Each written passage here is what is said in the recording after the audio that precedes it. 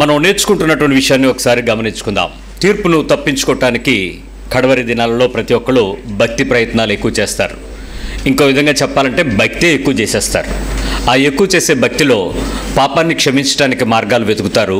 ఆ పాపాన్ని క్షమించడానికి గుడులకు వెళ్ళడం దర్శనాలకు వెళ్ళటం ధర్మాలు చేయటం దానాలు చేయటం స్నానాలు చేయటం యజ్ఞాలు చేయటం యాగాలు చేయటం బలులు అర్పించటం రకరకాల ఇతర ఏర్పాట్లు చేసుకుని ఆఖరికి దేవుళ్ళకు గుళ్ళే గట్టిచ్చేసే స్థాయికి ఎదిగిపోతున్నారు. వారి ఉద్దేశం ఏంటంటే పాప క్షమాపణ పొంది పుణ్యాన్ని సమకూర్చుకుని త్వరగా దేవుని సన్నిధికి వెళ్ళిన తర్వాత చక్కగా దేవుని సంతోషాన్ని అనుభవించాలని ప్రతి ఒక్కరి ఆశ. కానీ ఒక విషయం తెలియంది ఏంటంటే పుణ్యం ఎక్కువ చేసుకుంటే స్వర్గానికి వెళ్తారు లేక పరలోకానికి వెళ్తారని అందరూ చెప్పుకున్నట్లు అది వాస్తవమే కానీ నీ పుణ్యఫలము పాపఫలాన్ని రెండింటినీ పక్కకు పెట్టి తీర్పు తీర్చటం ఒకటి ఉంది అనే విషయం వాళ్ళు చెప్పలేదు బైబిల్ చెప్పింది. ఆ తీర్పులోకి వెళ్ళిన తర్వాతే నువ్వు చేసినటువంటి క్రియలు మంచివైనా సరే చెడ్డవైనా సరే అవి ఉత్తమమైన సరే పనికి మాలినవైనా సరే వాణ్ణి వాణ్ణి క్రియలు చొప్పున వానికి జీతాన్ని కొలిచి సిద్ధపరిచి అప్పుడు నువ్వు దేవునితో సదాకాలం ఉండాలా?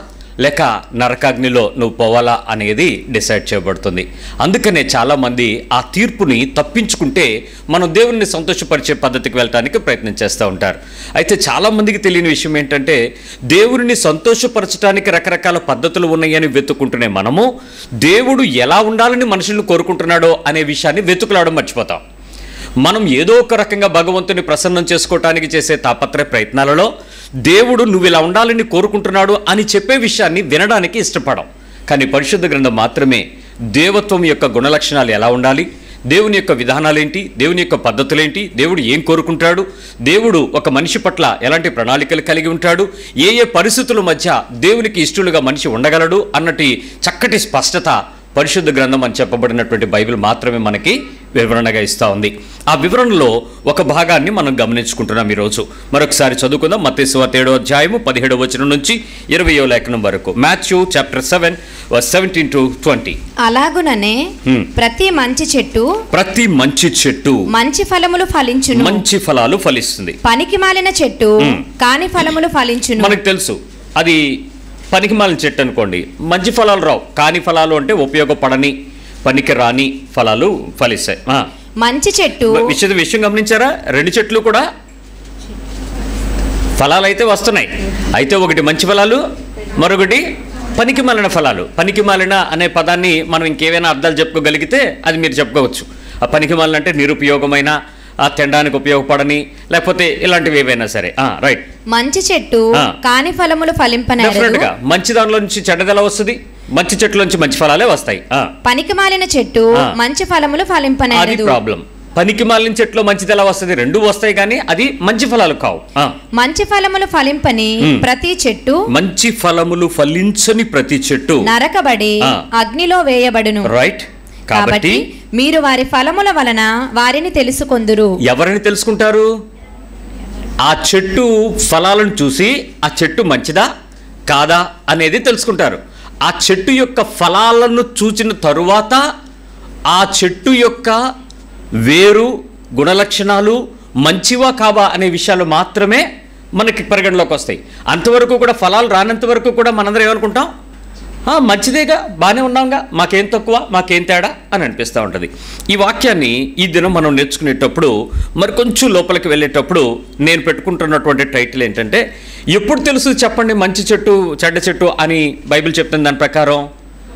దాని ఫ్రూట్ దాని ఫలాలు వచ్చినప్పుడు. మీరు అడగచ్చు పాస్టర్ గారు ఫలాలు ఫలించడానికి చెట్టుకి ఎన్ని సంవత్సరాలు ఉండాలి? మీరు చెప్పండి ఎన్ని సంవత్సరాలు ఉండాలి? ఒక్కో చెట్టు కొన్ని కొన్ని సంవత్సరాల లెక్కన చొప్పున కాపు కాస్తుంది. ఒక్కో చెట్టుకు ఒక్కో రకం. మామిడి చెట్టు సుమారు ఒక నాలుగేళ్ళ తర్వాత వస్తుంది. కొబ్బరి చెట్టుకి ఒక మూడేళ్ళ తర్వాత వస్తుంది. అట్లా రకరకాల చెట్లు రకరకాలు ఉన్నాయి. మరి ఆత్మీయమైన వ్యక్తికి ఎన్ని సంవత్సరాలకి ఫలింపు? స్పిరిచువల్ మ్యాన్కి ఎన్ని సంవత్సరాలు ఫలింపు లెక్కేయాలి? ఇప్పుడు చెప్పండి మీరు మిమ్మల్ని ఎన్ని సంవత్సరాల తర్వాత ఫలించారా లేదా చెక్ చేయడానికి ఫలాలకు మీ దగ్గరికి రావాలి? మీరు చెప్పుకోండి బాప్తిజం తీసుకున్న తర్వాత బాప్తిజం తీసుకోవడానికి ముందా? అంటే మీ ఇష్టమే. ఇప్పుడు ఒకవేళ మీరు ఇప్పటికీ సుమారు దేవుని మందిరంలోకి వచ్చి రక్షణ అనుభవం కలిగి ప్రభు ఆత్మను తిరిగి సంఘాన్ని సహవాసాన్ని ఎరిగి వాక్యాన్ని ఎరిగి కాలమును బట్టి చూసినట్లయితే మీరు ఇప్పటికి బోధకులుగా ఉండాలి అనే కాలం కనుక వచ్చుంటే దానికి పీరియడ్ ఆఫ్ టైం ఎంతో తెలుసా? Just three and half years సంఘంలోకి చేరిన మూడున్నర సంవత్సరాలకి నీ ఫలం స్టార్ట్ అవ్వాలి. త్రీ అండ్ హాఫ్ ఇయర్స్ ఎన్ని సంవత్సరాలు అయింది? మీ పక్కన నువ్వు నువ్వు ఇస్ప్రూఫ్ దగ్గరకు వచ్చి ఎన్నాళ్ళు అయిందని?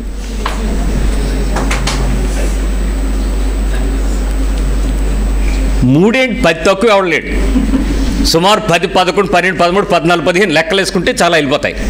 సో మరి ఇప్పుడు ఖచ్చితంగా నీ దగ్గరికి వచ్చి ఫలాలు చెక్ చేయాలా వద్దా? ఏంటి అప్పుడే కదా? ఇంకా అప్పుడే కాకపోతే ఇంకెప్పుడు? ఇప్పుడు మనందరికీ వచ్చిన డౌట్ ఏంటో తెలుసా? పాస్టర్ గారు మాకంటే మీరు మూడు సంవత్సరాలు లెక్క వేశారు బాగానే ఉంది. మరి మా పిల్లల సంగతి ఏంటి? బుడ్డ చెట్టు. అది ఇంకా పిల్ల చెట్టేగా? అయితే పర్వాలేదు పిల్లల సంగతి అయితే ఎక్స్క్లూడ్. మరి ప్రభు రాకడలో పిల్లోడు పెద్దోడు ముసలోడు లాంటివి ఏమైనా ఉంటాయా? ఆత్మేగా లెక్క? మరి అలాంటప్పుడు పిల్ల చెట్టుకి ఫలాలు ఉండాలా ఒక్కలేదా సిస్టర్స్ బ్రదర్స్ మీరు ఇంకా పిల్లకాయలు మాకు ఇంకా రక్షణ తీసుకోలేదు నాకు ఇంకా మైనార్టీ చేరలేదు అప్పుడే బాప్తిజమా ఇంకా టైం ఉంది కదా. పెళ్ళికి టైం చూసుకుందాం. మరీ తొందర పెట్టేస్తున్నారు బాప్తిజం బాప్తిజం సినిమా చూడడానికి అవ్వదు షే- వెళ్ళడానికి అవ్వదు బాప్తిజం అంట. మరి ప్రభు రాకడికి అందరూ ఎత్తబడతారా? పిల్లలు పెద్దోళ్ళు ఏమైనా తేడా ఉంటుందా? పెద్దోళ్ళందరినీ ఎత్తబడి పిల్లల్ని వదిలేస్తే పరిస్థితి ఏంటి? మహాశ్రమ కదా. ఖచ్చితంగా మన పిల్లలు రావాలనుకుంటున్నారా? అందరూ వెళ్ళాలి. ఇప్పుడు ప్రతి చెట్టు ప్రతి ఫలము చెక్ చేయబడుతుంది అంతే ఓకే? మీరు అమెరికా నుంచి భారతదేశానికి వచ్చేటువంటి మీరు రాయల్ యాపిల్స్ మీరు ఎప్పుడైనా చూసినట్లయితే మీరు సుమారుగా ఒక ట్రేలో ఒక ముప్పై యాపిల్స్ పెట్టుంటాయి. మీరు స్పెన్సర్స్ అలాంటి పెద్ద షాప్స్లో మీరు చూస్తే అన్ని పళ్ళు ఒకే సైజు ఉంటాయి చూడండి. అన్ని పళ్ళు ఒకే షేప్లో ఉంటాయి. అన్ని పళ్ళు ఒకే రంగులో ఉంటాయి. ఎందుకంటే ఇంపోర్ట్ చేసుకునేటువంటివి ఎక్స్పోర్ట్ చేసేటువంటివి ఒక గ్రేడింగ్ సిస్టంలో వెళ్తాయి. ఆ గ్రేడ్లోకి వెళ్ళిన తర్వాత దానికి ట్యాగ్ చేసి స్టిక్కర్ అంటించి దాన్ని కోటింగ్ వేసి క్యాప్ దాన్ని ప్యాక్ చేసి దాన్ని పార్సిల్ చేస్తారు. అంత క్వాలిటీగా ప్రతి ఫ్రూట్ చెక్ చేయబడుతున్నప్పుడు ఒక చోట నుంచి మరో చోటకి వెళ్ళేటప్పుడు దాని నాణ్యతను అన్నిసార్లు పరీక్షించినప్పుడు దాని ఉత్తమత్వాన్ని చూడాలని కోరుకునేటువంటి ఆ వ్యవసాయదారుడు న్యాయవంతుడేగా? మరి అలాంటిది నీ దగ్గరకు వచ్చి నిన్ను చెక్ చేసేటప్పుడు చిన్న బిడ్డ ఫలము పెద్ద బిడ్డ ఫలము అని ఏమి ఉండదు. ఆత్మీయ ఫలాలు ఒకటే. ఖచ్చితంగా నిన్ను చెక్ చేసేటప్పుడు వచ్చి నువ్వు నిన్ను చెక్ చేస్తాడు పెద్దదానివి నీ దగ్గర ఫలాలు ఉండొచ్చు నీ బిడ్డకి ఇంకా ఫలాలు వచ్చి ఉండకపోవచ్చు. కాపు కాస్త ఉండకపో ఉండొచ్చు. మీరు అంటున్నట్లు వాళ్ళు ఇంకా అల్లరి చిల్లరగా ఉన్నారు లోకంలో ఉన్నారు స్నేహితులతో ఉన్నారు ఇంకా వయసు పెరగలేదు వారికి అప్పుడేనా? ఐఎమ్ సారీ నేను చెప్పట్లేదు. బైబిల్ చెప్తుంది ప్రతి చెట్టు దాని ఫలాలు చేత చెక్ చేయబడుతుంది అంతే. అప్పుడు మీరు అనొచ్చు అయ్యా నాకు ఇన్ని సంవత్సరాలు ఉన్నాయి కాబట్టి నువ్వు నన్ను నా- నా పనుని మీరు చెక్ చేయటం నా ఫలాలు చెక్ చేయటం న్యాయం. అది చిన్నపిల్లలు వాళ్ళ దగ్గరికి వచ్చి మీరు అలా check చేస్తారేంటి? I'm sorry to say you చిన్నపిల్ల పెద్దపిల్ల అన్నది లేదు. తండ్రివి తల్లివి నీ ప్రవర్తనను బట్టి నీ బిడ్డల ఆత్మీయ ఫలాలు ఆధారపడి ఉంటాయి. నీవు నీ నీడను పెరుగుతున్నటువంటి నీ పిల్లలు నీ ఇంటిలో పెరుగుతున్నటువంటి నీ పిల్లలు నీ కుటుంబము దేవునికి ఇష్టలుగా దేవుని దృష్టికి నీతిమంతులుగా దేవుని యొక్క సంపూర్ణతలో మీరు ఇంకా పెంచకుండా మీరు చిన్నపిల్లలని వాళ్ళు చదువుకుంటున్నారని వాళ్ళు లోకంలో ఉన్నారని లోకానుసారమైన పరిస్థితుల మధ్య ప్రభావం వాళ్ళ మీద ఉందని మీరు రాజీ పడుతున్నారేమో? దేవుడు రాజీ పడడు. ఈ రాత్రి నీకు చెడ్డవార్తే ఇంకో మాట చెప్పనా? దేవుని యొక్క వాక్యాన్ని మీరు సరిగా అర్థం చేసుకోకపోవటం వల్ల దాన్ని చదవకపోవటం వలన దాన్ని వివరంగా చూసుకోకపోవటం వల్ల చాలామంది చాలా పాపం చేస్తున్నారు. దానికి శిక్ష ఖచ్చితంగా మీరు అనుభవించి తీరుతారు. చిన్నపిల్లల విషయంలో బైబిల్ చెప్తున్న మాట ఒకసారి వినండి. చిన్నపిల్లలు లేచున్నప్పుడు వాళ్ళతో కూర్చున్నప్పుడు వాళ్ళతో మాట్లాడుతున్నప్పుడు వాళ్ళతో నడుచున్నప్పుడు గుమ్మముల మీద చేతుల మధ్య చేతుల మీద నుదుట మీద వాసికం వలె వాళ్ళతో దేవుని యొక్క వాక్యం నేర్పించమని చెప్పాడు. ఇప్పుడు ప్రతి చిన్న బిడ్డకి ఏం చేయాలి? దేవుని యొక్క మాట ఎవరు చెప్పాలి? సండే స్కూలా ఫస్ట్ ఎవరు సండే స్కూల్ మీ ఇల్లే సండే స్కూల్ మీరే చెప్పాలి. మీరే బోధకులు. మీరు నేర్పించాలి మీ పిల్లలకి. మీరు చిన్నప్పటి నుంచి నేర్పించినటువంటి విషయాలు. అమ్మ అనే మాట సండే స్కూల్ టీచర్ నేర్పుతాడా? మీ ఎల్కేజీ టీచర్ నేర్పుతాడా? మీ ఇంట్లో తల్లిదండ్రులు మీరు నేర్పుతారా? దట్స్ ఆల్ మాట కమ్యూనికేషన్ ఫస్ట్ నేర్పేది మీరే. First communication godly divine communication మీరు నేర్పాలి. మీ పిల్లలకి తల్లిదండ్రులకి మీరు వాక్యం నేర్పాలి. మీరు కూర్చున్నప్పుడు లేచినప్పుడు పడుకున్నప్పుడు నడిచినప్పుడు మీరు బోధించండి గుమ్మాల మధ్యలో రాసి పెట్టండి అని చెప్తున్నాడంటే వాళ్ళు లెగుస్తుమే దేవుని మాట గురించినటువంటి విషయాలు వినాలి. వాళ్ళు లెగంగానే నాన్న కార్టూన్ నెట్వర్క్ చూస్తావా? హార్లిక్స్ తాగుతావా? అంటే అది ఏమర్థం అవుద్ది కార్టూన్ నెట్వర్క్ చుట్టానే లెగుస్తున్నాడు. లేకపోతే పాలు తాగేటప్పుడు వాడి చేతిలో ఫోన్ ఉంటే తప్ప పాలు తాగట్లేదు టిఫిన్ తింటలేదు. మీరు తప్పు చేస్తున్నారు. వాడికి నేర్పించాల్సింది నేర్పించకపోవటం వల్ల నేర్పించడానికి మీరు ఏం చేస్తున్నారో తెలుసా? తప్పు దృక్పథం ఏమైందో తెలుసా? తీసుకొచ్చి చచ్చిలో పడేస్తున్నారు. వారం రోజులు మీ ఇంట్లో ఉంటాడు ఏడో రోజు ఒక గంట తెచ్చి సండే స్కూల్కి పడేస్తారు. మా అబ్బాయిని కొంచెం ప్రార్థనలు బాగా నేర్పించండి. ఎవడు నేర్పుతాడు ఇక్కడ? ఇదేం జిమ్మా? నీ పిల్లోడికి నాలుగు ఎక్సర్సైజ్ నేర్పడానికి. ఖచ్చితంగా ఎవడు నేర్పాలి? నువ్వు నేర్పాలి. నువ్వు నేర్పించిన తరువాత జరిగే అద్భుతం ఏంటో చెప్పనా? చిన్న పిల్లలు మూడు సంవత్సరాలు వచ్చేటప్పటికి వాళ్ళని స్కూల్లో తీసుకెళ్ళి జాయిన్ చేస్తున్నాం ఈరోజు. దట్స్ ప్రీ నర్సరీ అంటున్నారు. మూడేండ్లు వాడికి ఇంకా పూర్తిగా ఊహ తెలిసి వాడిది వాడు కొడుక్కోవడం కూడా రాదు. కానీ వాడిని తీసుకెళ్ళి ఆయా కప్పు చెప్పి టిఫిన్ బాక్స్ ఇచ్చి రెండు మూడు బాక్సులు tuck box tiffin box lunch box మూడు బాక్సులు పెట్టి అండ్ స్కూల్లో వదులుతున్నారు పొద్దు నుంచి సాయంత్రం వరకు. వాడికి స్కూల్ బ్యాగ్లో సైన్స్ సబ్జెక్ట్ ఏంటో తెలుసు సోషల్ సబ్జెక్ట్ ఏంటో తెలుసు ఇంగ్లీష్ అంటే ఏంటో తెలుసు రైటింగ్ అంటే ఏంటో తెలుసు రీడింగ్ అంటే ఏంటో తెలుసు. ఎన్ని సంవత్సరాలకి? అడిగి బైబిల్ తెలీదా? అడిగి బైబిల్ తెలీదప్ప? బైబిల్ అర్థం కాదు అడికి అబ్రహాం స్టోరీ అడికి అర్థం కాదా? ఏమనుకుంటున్నావు నువ్వు? వాడికి లోకం సంబంధించిన అన్ని విషయాలు మూడేళ్ళకు నువ్వు నేర్పుతున్న ప్రారంభించినప్పుడు మూడేళ్ళు వచ్చిన వాడికి సండే స్కూల్కి సంబంధించిన విషయాలు నేర్పకపోతే దైవిక సంబంధమైన విషయాలు నేర్పకపోతే వాడి నుంచి ఆత్మీయ ఫలాలు ఏం కోస్తావు నువ్వు? ఏం దొరుకుతాయి నీ పిల్లలకి? తల్లిదండ్రుల పెంపకమే తేడాగా మారిపోయింది. ఏ స్కూలుకు తీసుకెళ్ళాలి ఏ కా- ఏ పెద్ద కాన్వెంట్కి పట్టుకెళ్ళాలని చిన్నప్పటి నుంచి ప్రయాసపడి ప్రార్థన చేస్తున్న నువ్వు ఉదయం లేచిన వెంటనే వాడికి ఏ పాఠం నేర్పించాలి ప్రభు అని ఎప్పుడైనా గోజాడావా దేవుని దగ్గర? అవసరం లేదు మీకు భక్తి. మీకు కావాల్సిన స్కూల్ కోసం పాస్టర్లను తినేశారు కానీ ఏ సండే స్కూల్లో కూర్చోటే ఆ ఏ ప్రదేశంలో తీసుకెళ్తే నా బిడ్డ ఆత్మీయంగా క్షేమంగా ఉంటాడనే సంఘాన్ని వెతికావా తల్లి నువ్వు? క్షమించరాని నేరం మీరు చేసి ఫలాలు రాకపోతే దాన్ని తీసుకెళ్ళి నరికి అగ్నిలో పడేస్తానంటే రేపు నీ బిడ్డ నరకంలో ఉంటాడు నువ్వేం పరలోకం వెళ్దాం అనుకుంటున్నావా? జరగదే. ఇంకో మాట చెప్తాను వినండి. ఈ చిన్న పిల్లలందరూ కూడా లోకము నేర్చేసుకుంటున్నారు. మూడేళ్ళకి వచ్చేటప్పటికి మూడు నాలుగు ఐదు ఆరేళ్ళకి వచ్చేటప్పటికి వాడికి అన్నీ తెలిసిపోతున్నాయి. మీరు పెట్టే తిండికి వాడి శరీరం కూడా మామూలుగా ఎదగటం లేదు. ఆరు సంవత్సరాలు ఎవడైనా లెక్కేయగలరా ఈ రోజుల్లో చూడండి.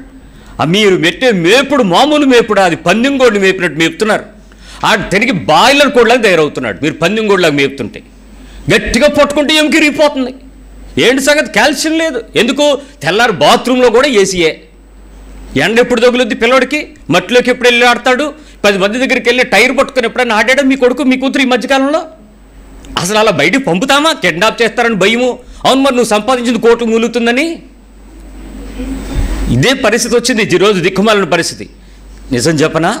మీకు బాధ కలుగుతుంది కదూ? ఫలాలు రావంటే నీ కుటుంబం అంతా స్కూల్లోకి వెళ్ళి వాడికి ఐఏఎస్ కోచింగ్కి లేక ఐపీఎస్ కోచింగ్కి లేకపోతే ఐఐటి కోచింగ్కి లేకపోతే నీట్ కోచింగ్కి ఆరో క్లాస్ నుంచి తొమ్మిడు అసలు చదవాల్సిన చదువు పోయింది.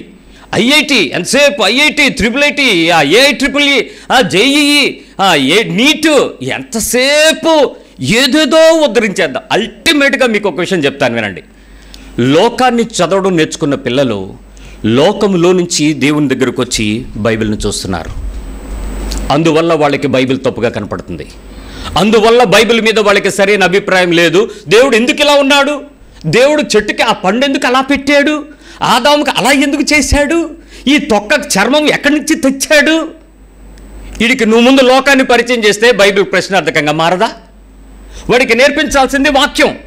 దేవునిని నేర్పిస్తే దేవుని పద్ధతులు నేర్పిస్తే దేవుని కట్టడలు నేర్పిస్తే దేవుని విధానాలు నేర్పిస్తే దేవుని యొక్క జీవిత లక్ష్యాలను నేర్పిస్తే వాడు దాంతో లోకంలోకి చూడడం వల్ల ఆల్బర్ట్ ఐన్స్టీన్ దగ్గర నుంచి ప్రపంచంలో కనుక్కున్న ప్రతి శాస్త్రవేత్త క్రైస్తవుడై ఉన్నాడు కారణం ఏంటో తెలుసా? వాడు చిన్నప్పుడు బైబిల్ చదివారు. వాళ్ళు స్కూల్కి వెళ్ళి పాఠాలు చదవలేదు. చదువుకోని వాడే గొప్ప గొప్ప ఆవిష్కరణలు చేయగలిగినప్పుడు ఈరోజు చదువుకుంటున్న మనము పనికి మాలిన కంపెనీలకు సాఫ్ట్వేర్లని హార్డ్వేర్లని యాభై వేలు లక్ష రూపాయల జీతాలు తప్ప మీరు జీవితంలో సంపాదించి దేశానికి ఉద్ధరించింది దమిడి లేదు. మీరు కట్టే ట్యాక్సులు తప్ప.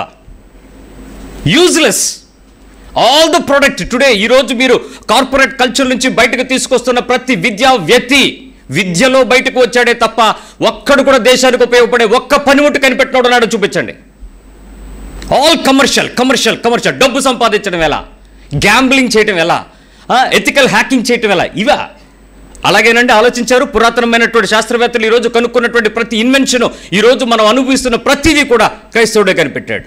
కారణం? తల్లిదండ్రులు చిన్నప్పటి నుంచి బాలుడు నడవలసిన త్రోవను వారికి నేర్పారు.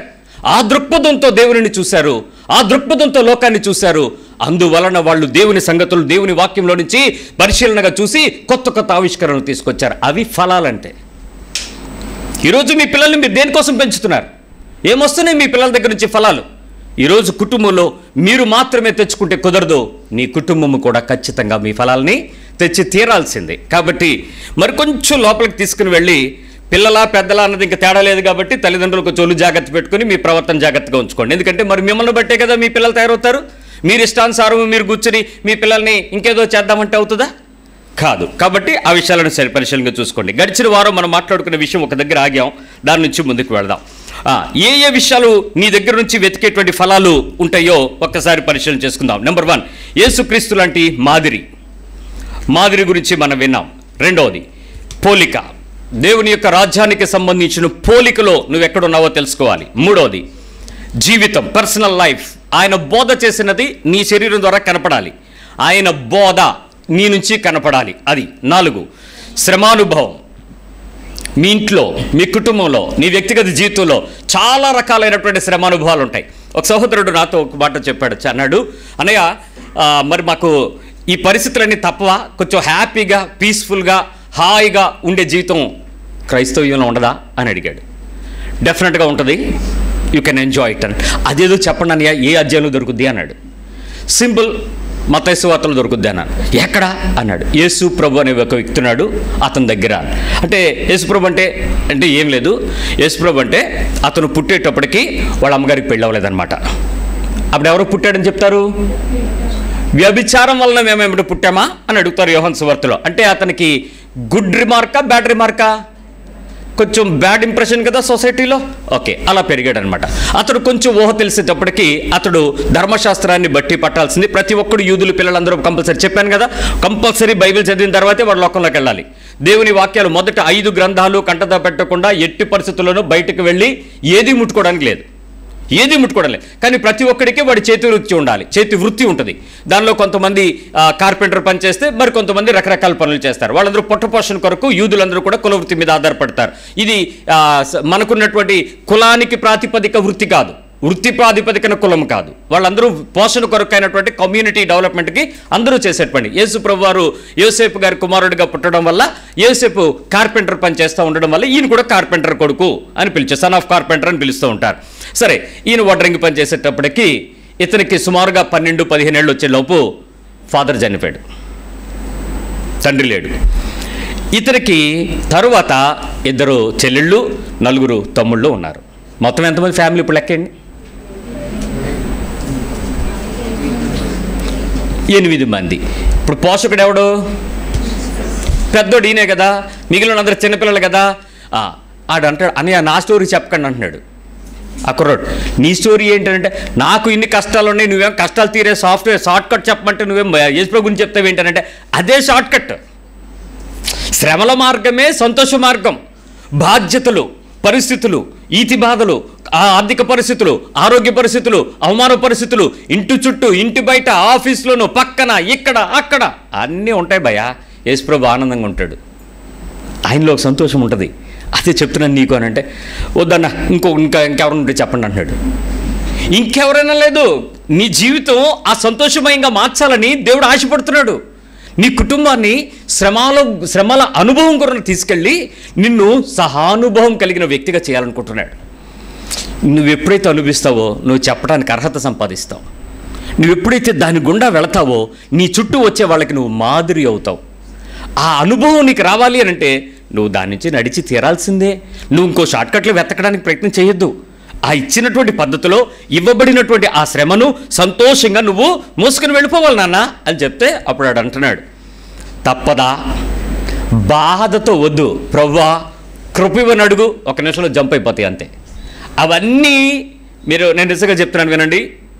మేము నడిచి వచ్చాం ఆ మార్గాలు మేము ఆ మార్గాలన్నీ నడిచి వచ్చాం అవమానకరమైన శ్రమ మార్గాలన్నీ నడిచి వచ్చాం కానీ ఈరోజు వెనక్కి తిరిగి చూస్తే ఆ రోజులే బాగుండు అనిపిస్తుంది today we are not so happy ఈరోజు మేము అనుభవిస్తున్న స్థితి బహుశా మేము సంతోషంగా ఉన్నామా అనేటట్లుగా పెద్ద పెద్ద బిల్డింగ్లో ఉండొచ్చు మంచి మంచి కార్లలో తిరగచ్చు లేక ఇలా ఏసీలు ఉండొచ్చు లేకపోతే గొప్ప పేరు సంపాదించుకుని ఉండొచ్చు. కానీ ఆ రోజుల్లో ఉన్న తృప్తి ఈ రోజుల్లో లేదు. ఆ రోజులే బాగున్నాయి. ఆ తిని తినని రోజులే బాగున్నాయి. ఆ నొప్పితో మోకాళ్ళు వేసిన రోజులే బాగున్నాయి. ఆ ఆకలితో నిద్రపోయిన రోజులే బాగున్నాయి. ఆ చేతులెత్తి అంగలార్చి ఉపవసించి కేకలు వేసిన రోజులే ఆ కన్నీరు కార్చిన రోజులే బాగున్నాయి. ఆ రోజుల్లో ఉన్న దేవుని యొక్క గొప్ప సన్నిధి ఈరోజు అంతగా అనుభవించలేకపోతున్నామేమో బద్ధకాన్ని బట్టి తృప్తిని బట్టి ఆ మనకున్నటువంటి అవుట్ ఆఫ్ లావిష్ని బట్టి. ఇవన్నీ కాదురా నాన్న అదే రా శాశ్వతం అదే రా ఆనందం అని చెప్పాను నేను. ఆరో అనుభవం చెప్తున్నాను. ఐదో అనుభవం. శిష్యుల యొక్క అనుభవం శిష్యునిగా మారాలి.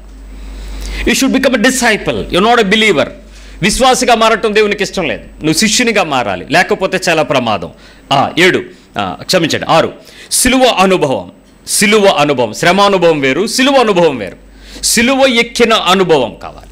ప్రతి ఒక్కడు నిన్ను ఉపేక్షించుకొని ఆయన సిలువను ఎత్తుకొని నీ సిలువను ఎత్తుకొని ఆయన ఏం చేయాలి నువ్వు? వెంబడించాలి. రెండు సిలువలు. ఒకటి యేసుప్రభు సిలువ.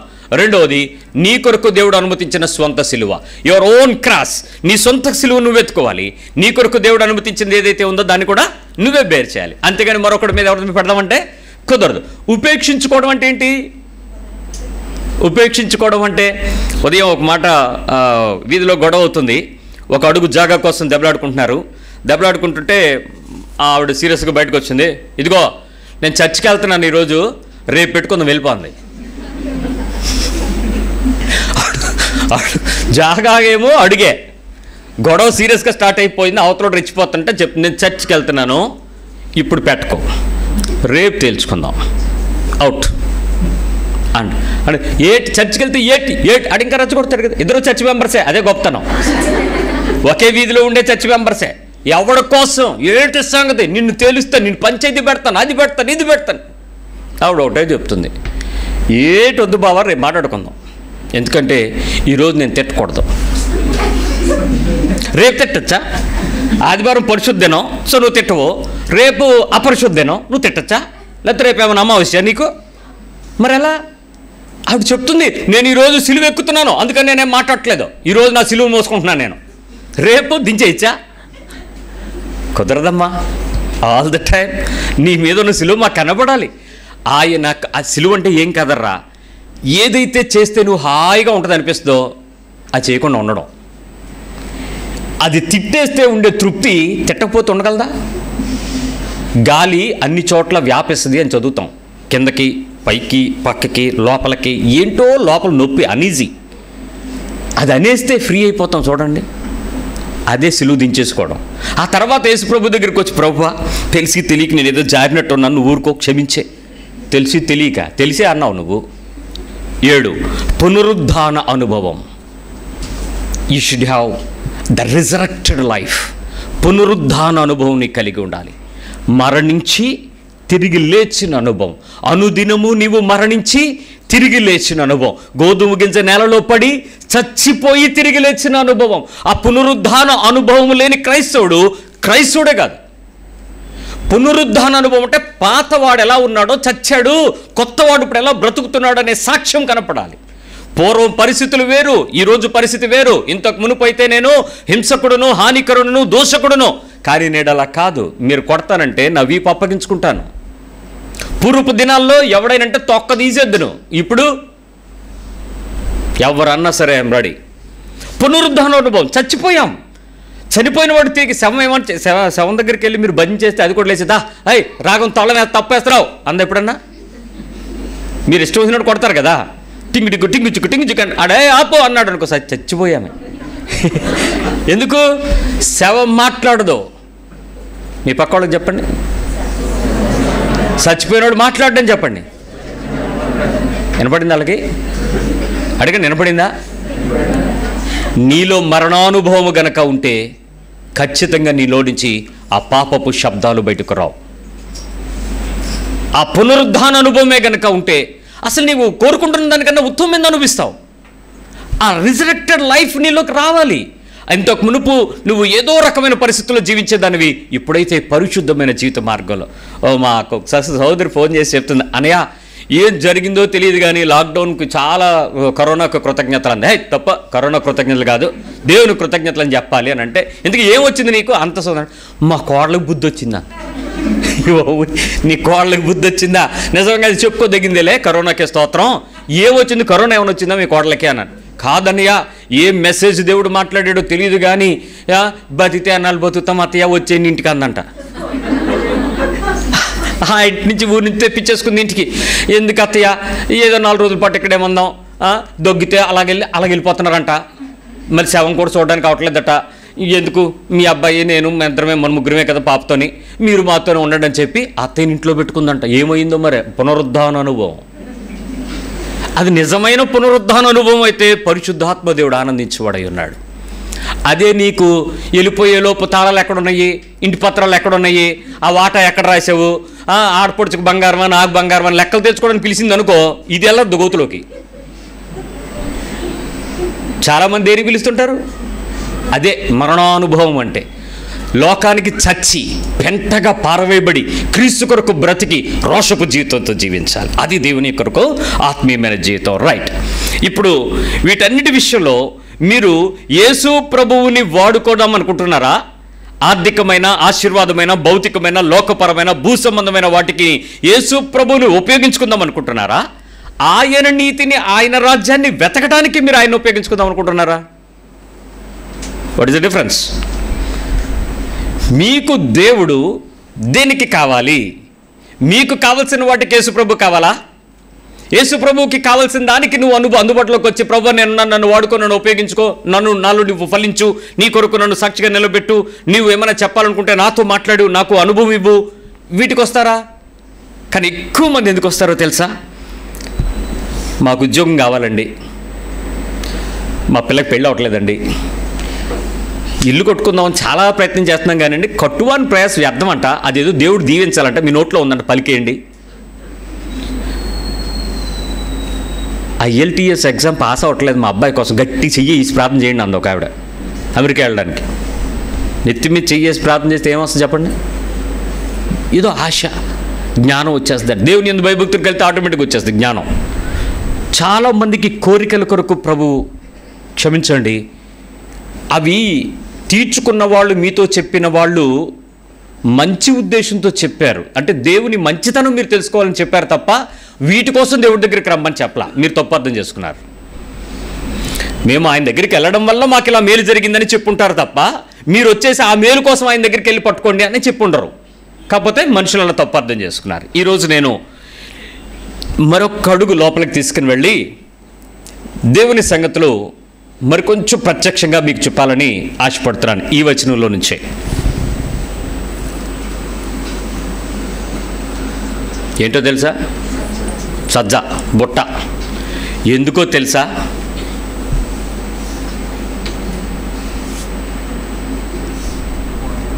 ఏం చేద్దాం అనుకుంటున్నాను ఇప్పుడు?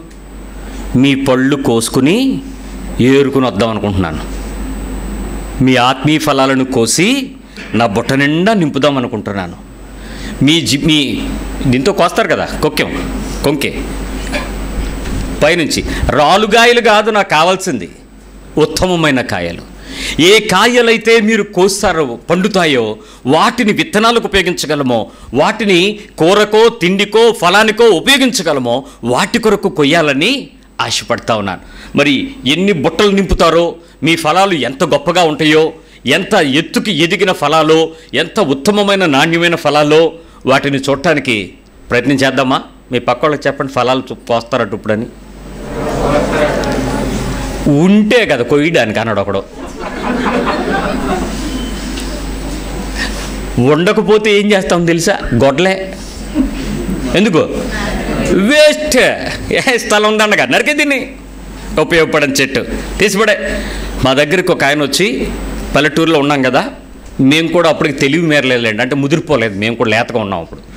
ఒక ఆల్బమ్ తీసుకొచ్చి సార్ ఇంత పెద్ద స్థలం ఉంది మీకు ఇంత కొర్రును వదిలేస్తారా? దీనికి మంచి మరి మంచి మొక్కలు వేసుకోవచ్చు సార్ అన్నాడు. ఏం మొక్కలు అన్నాడు. ఆల్బమ్ తీసాడండి చెట్టు నా అంత లేదు ఒక వంద కాయలు ఉన్నాయి మామిడికాయలు. ఏంటి సార్ ఇది అని అంటే ఇది హైబ్రిడ్ మామిడండి. మేము మా దగ్గర రెండు సంవత్సరాలు మేము పెంచుతాము దానికి అంట్లు కొడతాము పండు చాలా వెంటనే వచ్చేస్తుంది మధురంగా ఉంటాయి. ఎంత అన్నాడు? మూడు వందలే అన్నాడు. మూడు వందలు అంటే అప్పట్లో మాకు కొంచెం కష్టమే కానీ పర్వాలేదు. అది రీచబుల్గానే ఉంది. అట్లా ఆల్బమ్ చూపించాడండి.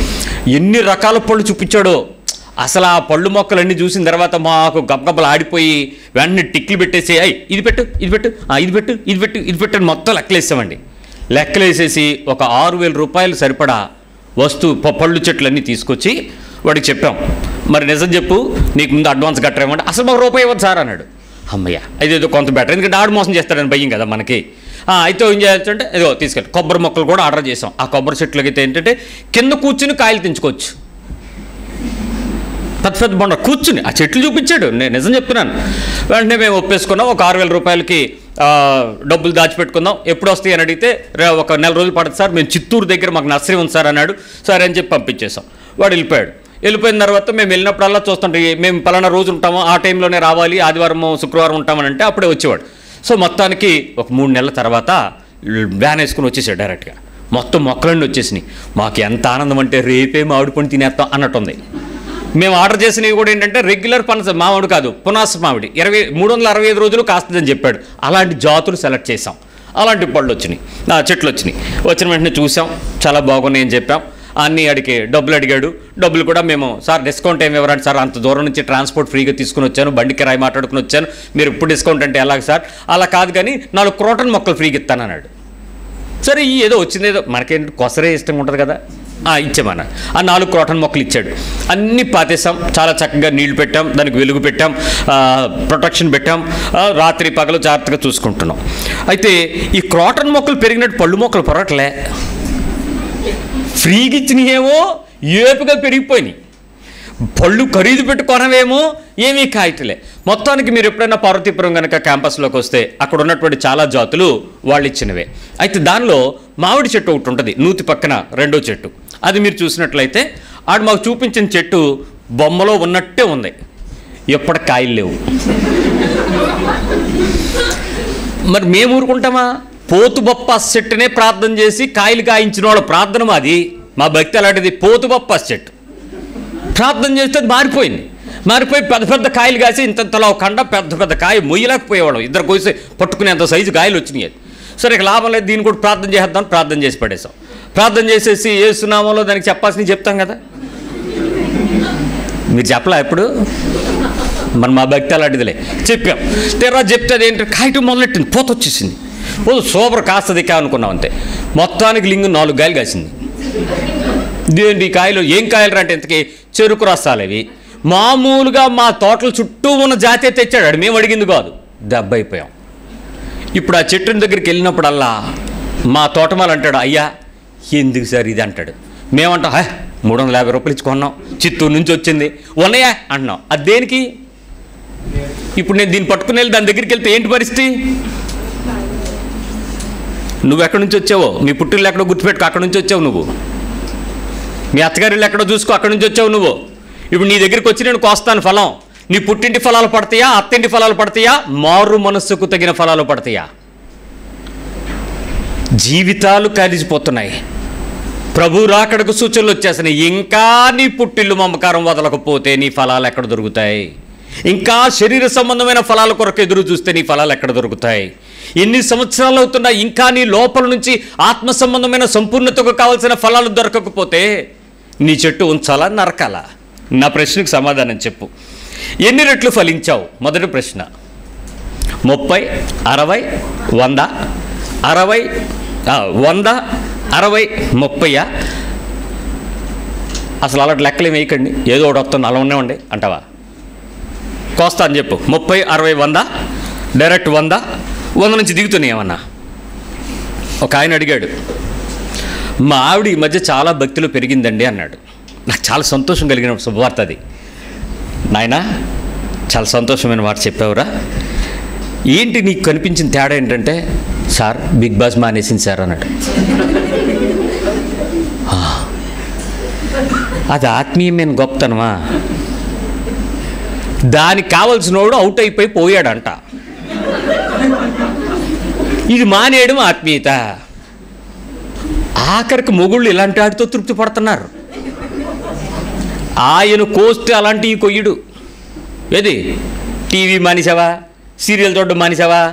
సినిమాలు చూడడం మానేసావా? సెల్ ఫోన్లో సొల్లు చూడడం మానేసావా వాళ్ళతో వీళ్ళతో మాట్లాడు ఆయన వేరే కొలత కొలుస్తాడు ఇప్పుడు నీ భక్తి థర్టీ సిక్స్టీ హండ్రెడ్ ఫోల్డ్సా?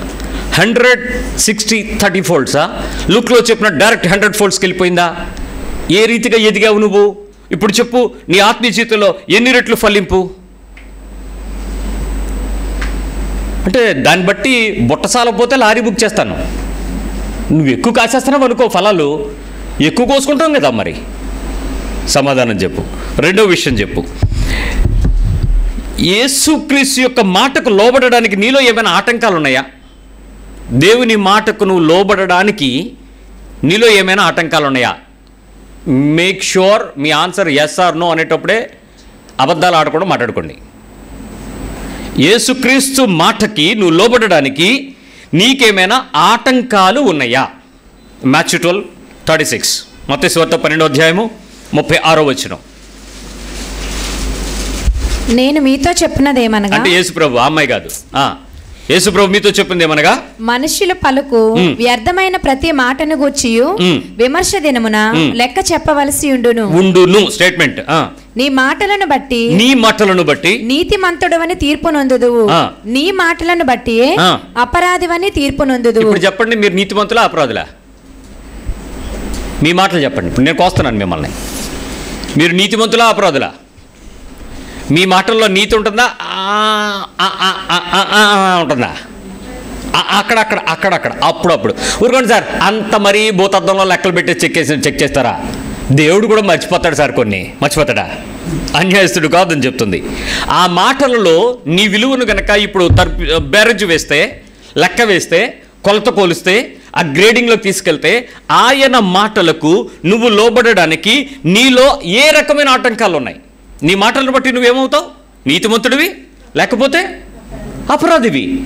నీ ఫలాలను బట్టి గురించి మాట్లాడుతున్నప్పుడు పెద్ద సీరియస్ అనిపించలేదు. ఇప్పుడు నీ మాటలు ఏ రెండు మూడు మాటలు మాట్లాడినా అవి నీతిమంతుని మాటలు అయితే ఎప్పుడూ ఒకేలాగా ఉంటాయి.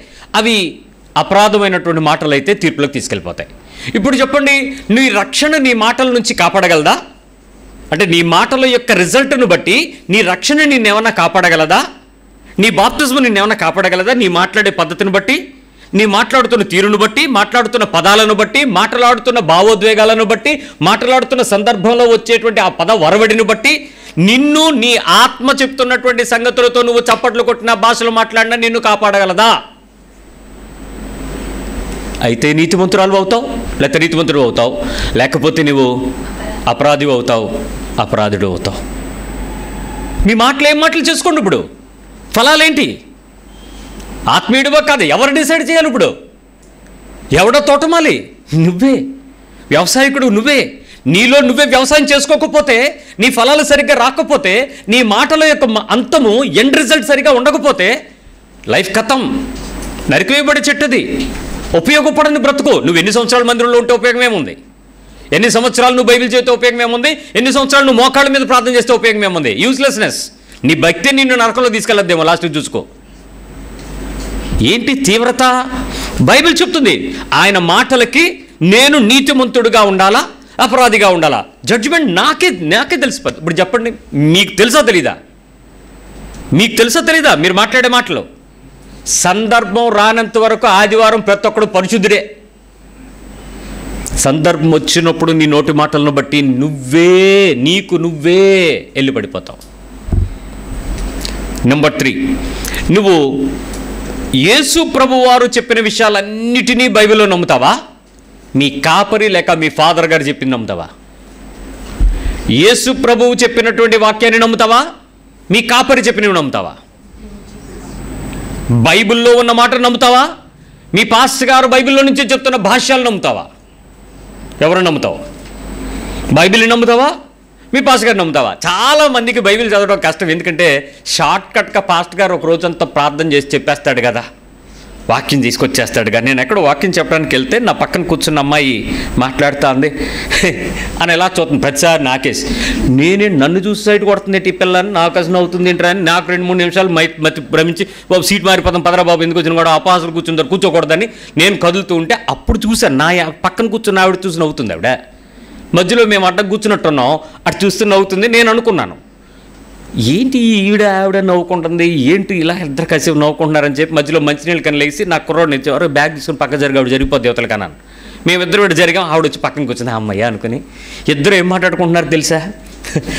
అయ్యగారు రాత్రి అక్కడికి వెళ్ళొచ్చినట్టున్నారు ప్రిపరేషన్ లేదు. సో ఏంటి? ఆత్మ పని చేయట్లేదు అంటుంది. వీళ్ళిద్దరికీ ఆత్మ లేదంట పాస్టర్ గారి మీద. ఆ రాత్రి ఎక్కడికో వెళ్ళాడంట. ప్రార్థన లేదంట. సిద్ధపడలేదంట. వాక్యం మీద నడిపింపు లేదంట. అది వీళ్ళిద్దరికీ తెలిసిపోయింది అమ్మలక్కలకి ఆయన తర్వాత వాక్యం నాదే. నేను వాళ్ళ పక్కన కూర్చున్నాను. నాకసేపు ప్రవ్వా ఏం జడ్జిమెంట్ ఇచ్చింది మా సిస్టర్స్ అసలు వీళ్ళకి ఎలా తెలిసిపోయి ఉంటుంది? పాస్టర్ గారి మీద అది లేదని ఇప్పుడు ఒకవేళ అది ఉందో లేదో అనే విషయం వాళ్ళకి తెలియాలంటే వాళ్ళకి ఫస్ట్ ఎవరు తెలియాలి? యేసు తెలియాలి వాక్యం తెలిసి ఉండాలి. వాక్యం తెలియని నీకు ఈ సొల్లు మాటలేగా ఈ పెట్ట కథలేగా నీకు ఆనందం నాలుగు మూడు నవ్వించే కథలే కదా నీకు సంతోషం నీ హృదయాన్ని పొడవడగా పొడితే డబ్బులేవోగా నిన్ను పిండడగా నీ గాయాన్ని పిండితే గాయం మాని నువ్వు బాగుపడతావుగా నేను బాగుపడినవడగా? ఆ సీము నెత్తురు నీలో నుంచి తీయడుగా నిన్ను ఆపరేషన్ చేసేలాగా నీ మనస్సాక్షి నీ మీద నిందారోపణ చేసేలాగా నీ తప్పుని ఎత్తి చూపడగా? చూపితే చచ్చిమానేస్తారని భయం. అందుకని ఆయన కూడా ఏం చెప్తాడు మీ మీద? పై పైన అలా అలా చెప్తాడు. అదే మీకు సుఖంగా ఉంటుంది. లోపలికి వెళ్ళి వాక్యం తెలీదు. ఆయన చెప్పే మాటలే మాకు దేవుడు భలే మాట్లాడాడండి. అసలు ఆదాము దేవుడు తయారు చేశాడంట అందొక ఆవిడ. ఎవరు చెప్పారని అడిగాను. మా అయ్యగారు చెప్పారు. నువ్వు ఎప్పుడు బైబిల్ చదవలేదా అంటే బైబిల్ ఉందా? అన్న. ఇదేమి కర్మరా నాయన నువ్వేం నీ పేరేంటో ఇస్తారు అమ్మేస్తారు ఏది నీ బైబిల్ ఏదన్నాను దేవుని స్తోత్రం ఆవిడ దానిలో ఆదికాండం ఆరో అధ్యాయం నుంచే ఉంది. పిల్లలు ఆడుకుంటుంటే ఏమవుద్దండి? ఇండెక్స్ చింపినప్పుడే ఆడి ఒంటి మీద ఒక వాత పెట్టుంటే ఇది దేవుడి మాటరా అని ఆడు బుద్ధి తెచ్చుకుని ఇది బుద్ధి తెచ్చుకున్న సిస్టరు. ఆరు అధ్యాయులు చింపేంత వరకు ఊరుకుందా బైబిల్? అదే పట్టుకొని సాకలేదు తిరుగుతుంది. మరి ఆది కాండంలో మొదటి అధ్యాయంలో దేవుడు సృష్టించాడని ఉంటుంది. మరి దానికేం తెలుసు? తప్పు ఎవరిది? పిల్లోడిది. మా అబ్బాయి చింపేశాడు. దేవుడు అంటే విలువ దేవుని మాటకు నువ్వు ఇచ్చే విలువ. దాన్ని దండం పెట్టుకోమని చెప్పట్లేదండి బైబిల్ని. ఏది? మూలం పెట్టేంతకు ముందు స్వస్తికులు రాశాం కదా అలా చేయొద్దు. దేవుని యొక్క మాట యొక్క విలువ నీ జీవితాన్ని బట్టి చూపించేది అక్కడే ఉంటుంది. ఏది దేవుని వాక్యమో నువ్వు చదవకపోతే దాన్ని గ్రహించకపోతే దాన్ని అర్థం చేసుకుని అన్వయించుకోకపోతే దాని ప్రకారం జీవిస్తూ ఫలాలు ఫలించకపోతే నీ దగ్గరకు వచ్చి కోసేటప్పుడు ఎండి ఆకులు పచ్చి ఆకులే రాలుతాయి జాగ్రత్త. నాలుగు. నీ హృదయంలో యేసు ప్రభు తెలిసిన తర్వాత చెడ్డ నీతి అనేటువంటి పనులు నీకేమైనా లాభం వచ్చేవి చేశావా? నీ హృదయంలో యేసుక్రీస్తుని నువ్వు పూర్తిగా రక్షకుడిగా అంగీకరించిన తర్వాత మీ ఇంట్లో కాదు మీ హృదయంలో చెప్తున్నాను. అందుకే మీ ఒంట్లో అన్నా మీ హృదయంలో అన్నా. నీ హృదయంలోకి యేసుక్రీస్తుని రక్షకుడిగా సంపూర్ణంగా అంగీకరించిన తర్వాత చెడ్డ నీతి అయిన పనులు నీకు లాభం వచ్చేవి ఏమైనా చేసావా కొంచెం లోపలికి వెళ్ళండి మర్చిపోవద్దు. చాలాసార్లు మనం వెలిచూపును బట్టి మాట్లాడుకుంటాం తప్ప హృదయంలో మోసాలు మనకు ఉంటాయి. అంటే నేను మళ్ళీ చెప్తున్నాను మీకు అర్థం కావడానికి. చెడ్డ నీతి పనులు చెడ్డనీతి అంటే దేవుని నీతి కానివి చెడ్డనీతి. అవి చేసేటప్పుడు నీకు లాభం కానీ నీ హార్ట్లో యేసుప్రభు ఉన్నాడు. నీకు లాభం కాబట్టి ఆ పనులు చేస్తావు. సింపుల్ థింగ్ వడ్డీ తెలుసా? ఎవరని అడగండి వడ్డీ వ్యాపారం తెలుసా? వడ్డీ వ్యాపారం తెలుసా? తెలుసా తెలీదా? వడ్డీకి ఇవ్వడం తెలుసా? తెలుసా? తెలీదా? ఇచ్చేవాళ్ళు తెలుసా? పని మీరు ఇది ఇప్పుడైతే చెప్తారు చూడండి. నువ్వు ఒప్పుకో కాబట్టి ఇచ్చేవాడు తెలుసా అంటే అదే అదే అదే అదే అదే అదే అదే అదే అదే. ఇలా మనం ఇస్తున్నాం కదా వాళ్ళే వాళ్ళ గురించే చెప్తున్నాడు. వ్యాపారం చేయొచ్చా ఏ వ్యాపారం? ఏ వ్యాపారమైనా చేయొచ్చు. వడ్డీ వ్యాపారం? ఎందుకు? అది దేవుని నీతికి వ్యతిరేకం. కానీ దేవుని నీతికి వ్యతిరేకం కాని పని ఏంటంటే బ్యాంకులో ఇన్వెస్ట్మెంట్ చేసుకోవచ్చు. SIP small scale investment plans ఉంటాయి. వాటిలో మీరు చేసుకోవచ్చు. ఫిక్స్డ్ డిపాజిట్ చేసుకోవచ్చు. ఇవన్నీ షాహుకారుల దగ్గర జరిగేటువంటి వ్యాపార పద్ధతిగా బైబిల్ అభ్యర్థించింది కాబట్టి వాటిలో నువ్వు వెళ్ళొచ్చు. త్రూ బ్యాంకింగ్ సిస్టంలో చేసేవి ఏవైనా నువ్వు చేయొచ్చు. అదర్ దాన్ నాన్ బ్యాంకింగ్ ఒక పర్సన్ బ్యాంక్ ఎప్పుడు కాడు. సంస్థ ప్రభుత్వ రంగం ప్రభుత్వ రంగమైనటువంటి సంస్థ మాత్రమే. అలాంటి బ్యాంకింగ్స్లో మీరు ఏ పెట్టుబడి పెట్టినా అది మీకు తీసుకుని వచ్చేటువంటి రికరింగ్ డిపాజిట్స్ని కానివ్వండి ఏవైనా సరే వాటి వల్ల లాభాలు మీరు సంపాదించుకోవచ్చు. కానీ చాలా ఎక్కువగా సింపుల్గా సాఫ్ట్గా సాయంత్రం అయ్యేటప్పటికి మనం ఎక్కడ కాల్ మీద కాలు వేసుకుని ఆ జగోడీలు నవ్వులుకుంటా అలా టీవీ చూస్తూ ఉంటే మన దగ్గరికి వచ్చి పడిపోయే వడ్డీలేంటి? అవి కాదు కదా. ప్రభుత్వ పద్ధతుల్లో పెద్ద ఇన్వెస్ట్మెంట్స్ కాదు కదా. ఇప్పుడు చెప్పండి. నేనును మా ఇంటి వారము దేవుడని యుహోవాన్ని సేవించదము ఇంట్లో బోర్డు. బ్రదర్ మీ మెయింటెనెన్స్ అంతా చాలా బాగుందని అంటే ఈ మధ్య చిన్న స్మాల్ బిజినెస్ స్టార్ట్ చేశాను బ్రదర్ ఒక ఐదు లక్షలు తాను. ఐదు లక్షల వ్యాపారమా? ఈ రోజుల్లో పది లక్షలు లేకపోతే ఏ వ్యాపారం నడవదు? కరోనా కాలం. ఐదు లక్షలతో ఏం వ్యాపారం అంటే రొటేషన్ అండి రొటేషన్? అంటే ఏంటని అంటే ఏం లేదండి ఇంట్లో ఉంటే ఏముంది? వంద బయటకు వెళ్తే రెండు పిల్లల్ని ఈయనకి తెలివితేటలు. ఇంట్లో ఉంటే వంద ఏడు చేద్దాం ఏం చేయదు. వంద బయటకు వెళ్తే రెండు పిల్లల్ని ఈనుకొద్దండి వద్దండి అంటే రెండు రూపాయలు వడ్డీ అంట. ధర్మ వడ్డీ అనండి రెండు రూపాయలేనండి. ఓ రెండు ఈయనకి కదా అని చెప్పి దాన్ని వదులుతున్నానండి బయటకి. ఎన్ని లక్షలు? ఐదు లక్షలు. మొదట్లో బాగానే ఉంటుంది. హృదయంలో దేవుడు బయటికి వెళ్ళిపోతాడు ఏది కావాలి నీకు? ఓకే నువ్వు తప్పు చేసావా? మంచి చేస్తున్నావా? మరి నా పోషణ ఎలాగా? నేను ఎవరిని నమ్మాలి? ఏం చేయాలి? ఆ రూపాయి ఇచ్చినటువంటి ప్రతి పరిస్థితుల్లో నీ హృదయము రూపాయి దగ్గర ఉండిపో దేవుడి దగ్గర ఉండదు. ధనము ఎక్కడ ఉండునో వాడి హృదయము అక్కడ మరి ప్రభు దగ్గర ప్రభు ఎక్కడ ఉంటాడు? మరి నువ్వు పోషించబడాలంటే ఇదే వ్యాపారమా? ఇదే పద్ధత? ఇదే నీత? కాదు. దేవుడిని అడగండి. ఉత్తమమైన పని చేస్తాడు. ఒక సహోదరు నాతో సాక్ష్యం చెప్పిన విషయం ఉంది. మంచినీళ్ళను చూపించి దేవుడు నిన్ను నేను దీవిస్తానని చెప్పాడు మంచినీళ్ళు. ఆశ్చర్యపోయింది మంచినీళ్ళతో ఏం చేస్తాడు నేను? దేవుడు నన్ను ఎలాగ ఆశీర్వదిస్తాడనేది దాంతో ఇల్లు కొనుక్కుంది అప్పులు తీర్చుకుంది సోడా వ్యాపారం చేసి. ఏ పెట్టుబడి లేని పని? వాటర్ని సోడాగా మార్చి సోడా గ్యాస్ మాత్రం ఫిల్ చేసి దాన్ని నమ్మి తన జీవితాన్ని నిలబెట్టుకుని పిల్లల్ని నిలబెట్టుకుంది కుటుంబాన్ని కట్టుకుంది అప్పులు తీర్చుకుంది. అసాధ్యం కాదే దేవుడు చేయగలిగినవి. నువ్వు నమ్మక నీ చేతుల్లో ఉన్నదాన్ని నువ్వు నమ్ముతున్నావు అంతే. అందుకే ఈ మాట చెప్తున్నాను. నీ ఫలాలు సరిగ్గా కొయ్యటానికి వచ్చేటప్పుడు యేసు ప్రభుకి కోత పండుగ అందుకని నేను దేవుడికి పదివేలు ఇచ్చేస్తున్నాను అన్నావు అనుకో మీ పాస్టర్ ఐస్ అయిపోతాడు ప్రభు ఐస్ అవ్వడం. మీ కోత పండగ ఇంకేదో పండక్కి. మీరు డబ్బులు కానీ పట్టుకెళ్ళారు కనుక ఆరు. ఐదా? ఐదు. నీ ఇంట్లో కానీ నీ ఒంట్లో కానీ యేసు ప్రభుకి వ్యతిరేకమైనవి పర్వాలేదు అనేవి ఏమైనా ఉన్నాయా? నీ ఒంట్లో కానీ నీ ఇంట్లో కానీ యేసు ప్రభుకి వ్యతిరేకమైనవి పర్వాలేదు అనేవి ఏమైనా ఉన్నాయా? ఒకసారి అనండి పర్వాలేదని ఏమందో ఏమవుతుంది అనండి? మళ్ళీ మళ్ళీ గట్టిగానండి వెరీ గుడ్ సింపుల్ చెప్తాను. బయట బాధపడకండి. పడినా బాధలేదు.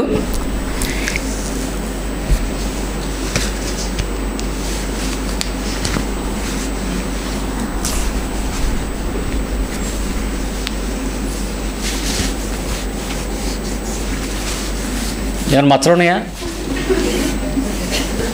లేవు కదా? ట్యాటూలు ఉన్నాయా అని అడుగుతున్నాను.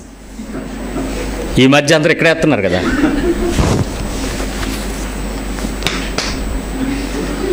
ట్యాటూలు ఏది దాచుకోమని దేవుడు చెప్పాడో అది ఇప్పుకుని దాని మీద బొమ్మలు దాని మీద ముద్రలు దాని మీద కొటేషన్లు వేసుకుని అది లేపుకొని చూపించుకోవడం మళ్ళీ అందరికీ. ఏం పోయే కాలాలు? సరే దేవునికి అపవిత్రమైనవి ఆయనకి నచ్చనివి చేసుకోవద్దు అన్నాడు. గుచ్చుకోవద్దు తగిలించుకోవద్దు వేసుకోవద్దు. వాటి వలన మీరు అందాన్ని ఆ గొప్పతనాన్ని తెచ్చుకోవద్దు. ఇది మోసకరం ఇది వ్యర్థం. లాంటివి చాలా విషయాలు బైబిల్ చెప్పింది. ఏంటి అని నేను చెప్పను మీకు తెలుసు. ఇప్పుడు నీ ఒంట్లోనూ నీ ఇంట్లోనూ దేవునికి వ్యతిరేకమైనవి ఏవైనా పర్వాలేదు అనేవేవో ఒక రెండు చెప్పండి. పర్వాలేదు అనేవి ఉన్నాయా లేవా? ఉన్నాయా లేవా? హలో? ఏంటి నిద్ర వచ్చినట్టు చూస్తున్నారు? ఉన్నాయా లేవా? అంటే ఇప్పటి నుంచి ఎతకడం మొదలెడితే పిల్లులు దొరుకుతాయి కానీ ఎలకలు దొరకవు. ఎందుకు? అవి పరిగెడుతుంటాయి. నీకు ఇలాగే చూసినంటే ఇదా ఇదేం చేసింది? ఇదేం పెద్ద తప్పేం కాదు. అనిపిస్తుంటుంది నీకు ప్రతిదిని. పిల్లే కదా పట్టుకోవాల్సింది. ఎలకలేముంది? కానీ ఇల్లు కన్నం పెట్టేది ఎవరు? కాపాడేది పిల్లి. నాశనం చేసేదే ఎలుక. ఈరోజు నీ జీవితంలో ఎన్ని ఉన్నాయి ఒకసారి చూడు. నానా ఏదైతే ఫోన్ ఏది ఏదో ఫోన్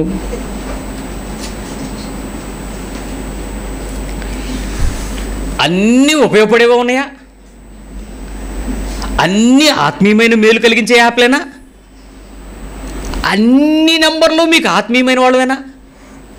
దీనిలో వాడే ప్రతి పని ఆత్మీయమైన పద్ధతికే వాడుతున్నారా? ఏం లేవన్నారే? మరి ఇది ఎదురుగా ఒకే వస్తువు ఇది వదలకుండా తిరుగుతున్నారు మరి? ఏదైనా మర్చిపోతారు కానీ. ఈ మధ్య ఒక ఆయన చెప్తున్నాడు ఫోన్ దొంగతనాలు అసలు అవ్వట్లేదట. నిజం చెప్పా మా కానిస్టేబుల్ గారు చెప్పారు దొంగతనాలు అవ్వట్లేదండి. ఏమండి వదలట్లేదండి అసలు ఎవడను. ఒకవేళ వదిలినా ఆడికి కాలు ఫింగర్ ప్రింట్ కూడా పెట్టాడంట ఒకడు ఎవడో మొన్న. ఆడి కర్మ కాకపోతే ఫోన్ ఓపెన్ అవుద్దా? కాల్ది పెట్టాడండి అలాంటి వాళ్ళు తేరాడు అసలు వదలట్లేదండి ఫోన్ పోవట్లేదండి ఈ మధ్య. ఎంత జాగ్రత్త పడిపోతున్నాము కదా. ఎందుకు? దాని లాక్ చూడండి. పైకి తిప్పి లేకపోతే తిప్పి రైట్ తిప్పి అడు తిప్పి ఇటు తిప్పి ఇటు తిప్పి ఎడు తిప్పి. ఎందుకని తిప్పులు? అంత ప్రమాదకరమైనది అది. దాని లోపల అంత ఉంది సీక్రెట్.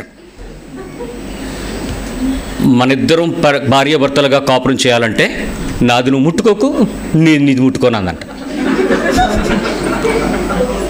నాది నువ్వు అడక్కు నేను నిన్ను అడగను. ఒప్పందం ఫస్ట్ నైట్ ఏంట్రా ఈ ఒప్పందాలంటే ఆడు పన్నెండు చెప్పాడు. మీకు ఒక టైం వచ్చినట్టు చెప్తానండి ఇప్పుడు కాదు.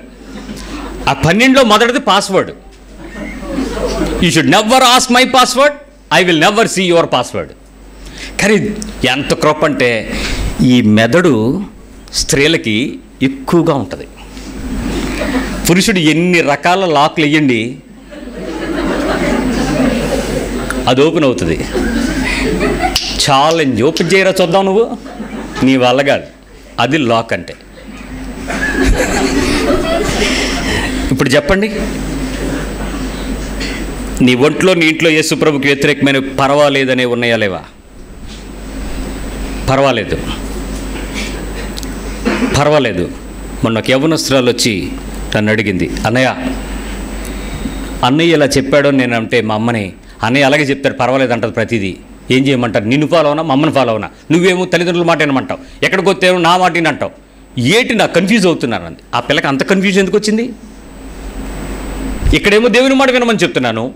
దేవుని మాటలోనేమో నీ తల్లిదండ్రుల మాట వినమని చెప్తున్నాను. ఆ తల్లి ఏమో ఖచ్చితంగా చెప్తుంది. అన్నీ అలాగే చెప్తాడు మీ పాస్టర్. ఫాలో అవ్వకండి ఇప్పుడు ఎవరిని బయటికి తీసుకెళ్ళాలి? నన్నా ఆవిడనే? పిల్లలకి ఆ గందరగోళపు మైండ్ తీసుకొచ్చింది ఎవరు ఇప్పుడు? ఉన్నట్టే కదా అయితే నెంబర్ సిక్స్. ఏ తప్పు బైబు పాపము బైబిల్లో నువ్వు చేశారు కదా అనేటువంటి అలసత్వానికి ఎప్పుడైనా నీ మనసు ధైర్యం తీసుకుందా? ఎనీ సిన్ బైబిల్లో ఇది ఉంది కదా బైబిల్లో వాళ్ళు చేశారు కదా మనం చేస్తే తప్పేంటి? అనేలాంటి ఏ తప్పిదాన్నైనా బైబిల్లో నుంచి చూపించి నీకు అలసత్వాన్ని తీసుకువచ్చిందా? అంటే నువ్వు ఫాలో అయ్యావా? నువ్వు చేయటానికి ధైర్యం చేసావా బైబిల్లో ఉంది కదా. బైబిల్లో ఉంది కదా. మొన్న ఒక ఆవిడ వచ్చి చెప్పింది. నేను చేసింది తప్పు కాదండి. నువ్వేం చేసావు చీట్లు వేసాను బైబిల్లో ఉంది కదా అంది. బైబిల్లో ఉన్న చీట్లకి ఇప్పుడు నేను కుటుంబాన్ని కాపురం చేయాలా వదిలేయాలా అనడానికి చీట్లు వేయడానికి సంబంధం ఉందా? మా ఇంటికి నేను వెళ్తానంటే వెళ్ళనంటే నిన్ను వదిలేసి వెళ్ళిపోవాలా వద్దా అని రెండు చీట్లు వేసింది. అది బైబిల్లో ఉంది కదా అని నాతో చెప్తుంది. అది బైబిల్లో ఉన్న దేనికి ఎంపిక కోసం వెళ్ళిపోవడం కోసం కాదు. దేనికి ఏది సెలెక్ట్ చేసుకోవాలో తెలియకుండా బైబిల్లో ఉన్నదాన్ని నీ లైఫ్కి అప్లై చేస్తానంటే బైబిల్లో ఉన్న పాపము బైబిల్లో ఉన్న తప్పు నీ లైఫ్కి కొన్నిసార్లు సింక్ అయినప్పుడు అది చేశాడు కదా అనిపిస్తుంది. బెత్షబాతో దావీదు చేసినటువంటి పాపం విషయంలో చాలామంది దైవ సేవకులే take it as a granted and కన్సిడర్డ్గా పాపం చేస్తున్న వాళ్ళు చాలామంది నేను ఎరుగుతున్నాను ఏమనంటే రావిది లాంటివాడే పడ్డాడు సార్ అన్నాడు. అందుకే రా బాబు అది రాసి పెట్టాడు నువ్వు పడకూడదని దృష్టాంతంగా నువ్వు దాన్ని నమ్మవే అంటే ఊరుకోడు సార్ అప్పుడప్పుడు అలాంటివి జరుగుతుంటాయి దేవుడే ఊరుకున్నాడు కదా. దేవుడు ఊరుకున్నాడా? టేక్ ఇట్ గ్రాండ్ అందుకే మరి బిడ్డ చచ్చిపోయాడంటే పోతే పోయాడు బిడ్డే కదా. ఆఖరి పాపానికి నీకున్నంత ఆనందం ప్రాప ప్రాయశ్చిత్తానికి దేవుడు తీసుకున్న ఉగ్రతను చూడకపోవటం తప్పు కాదు. అలాంటి చాలా విషయాలు. ఎక్కడైనా బైబిల్లో ఆ చిన్న మ్యాటర్స్ ఆఫ్ తప్పులు చూపించి పర్వాలేదు అనేలాంటి స్థాయికి నీ మనసు ఎక్కడైనా కొంచెం అనిపించిందా? పర్లేదు అనిపించిందా? అనిపించలేదా? మరి నాకు అమ్మాయి చెప్తుంది అన్నా నేను అందంగా తయారవ్వాలని చక్కగా ఉండాలని అందరి చేత ఆకర్షించబడాలని నా మనసును చంపుకోలేకపోతున్నాను.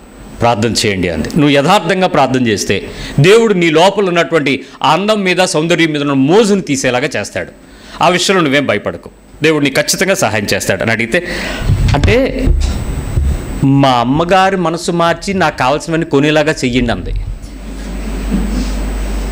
ప్రేయర్ కరెక్ట్గానే ఉంది. ఆ అమ్మాయి క్లియర్గా ఉంది. నాకే లేదు. క్లారిటీ. నేనేం నేను ఏం ప్రార్థన చేయాలి? ఆ మాట అడిగాను. తప్పు కదరా తల్లి? ఆ విషయాల్లో నీకేమీ పెద్ద ఉపయోగం ఏముంది అని చెప్పి నా దగ్గర వాట్సాప్లో అప్పుడే ఎవరో తాజాగా పంపిన ఒక వర్తమానం ఉంటే చూపించాను. ఎన్నేళ్ళైనా నీ శవం మూడు రోజుల తర్వాత ఎలాగుంటుంది? ఆరు రోజుల తర్వాత ఎలా ఉంటుంది పది రోజుల తర్వాత ఎలా ఉంటుంది అని చెప్పి ఆ ఎముకలు గుడి లాస్ట్కి ఉంది ఆ బొమ్మ చూపించాయి ఇలా ఉంటుంది? అని అంటే ఎస్తేరు అందంగా ఉంది కదా? అని అడిగింది. ఇప్పుడు ఎస్టేర్కి ఒక పర్పస్ ఉంది. ఆ రాజు దగ్గరికి వెళ్ళి దయ సంపాదించుకోవాలి. యూదులను రక్షించాలి. ఆ హామాను నశించాలి. ఆ పరిస్థితులన్నీ జరిగించడానికి కొరకు తల్లి గర్భంలో ఉండగా ఏర్పాటు చేయబడిన విషయం వద్దుకే ఆ విషయం కన్ఫర్మ్ చేశాడు కదా. అందుకొరకు అదంతా మరి నీ పట్ల అలాంటి ప్రణాళిక ఏమైనా ఉంటే తప్పక నీ అందం విషయంలో దేవుడు బాధ్యత తీసుకుంటాడు. నీ తల్లికి కూడా అలాంటిది ఏదో చెప్తాడు. మరి దాని గురించి నువ్వేం ఆలోచించవేనస్ అంటే దేనా కూడా అందంగా ఉంటుందంట దానికి కావాల్సిందే ఎత్తుకొస్తుంది. చెప్తుంది ఎక్కట్లే బురకే మనకు కూడా చాలాసార్లు బైబిల్ని పట్టుకుని తప్పును సైతం కన్సిడర్ చేసేలాగా మనలో యవనసులు చాలామంది చాలామంది బైబిల్లో ఉన్నటువంటి తప్పుని నీ వ్యక్తిగత జీవితానికి కొంచెం పర్వాలేదు అనేటట్లుగా దగ్గరగా తీసుకొని దాని కొరకు నువ్వు అర్రులు చచ్చినటువంటి పరిస్థితులు కొన్ని ఉన్నాయి క్షమించరాని నేరం. నీ దగ్గర ఫలాలు రాకుండా నిష్ప్రయోజకమే నరికివేయబడే స్థాయికి వెళ్ళే కారణాలు అక్కడే ఉంటాయి. జాగ్రత్త.